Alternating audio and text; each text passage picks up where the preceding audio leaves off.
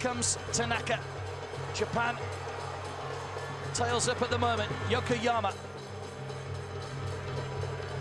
still trying to forge her way through. She's done well. Yokoyama, brilliant skill. Yokoyama for 2-1. What a magnificent goal! That has goal of the tournament written all over it. Two in two minutes for Japan. And it's Kumi Yokoyama with an absolutely magnificent goal. She rightly celebrates. There was no taking that ball away from her.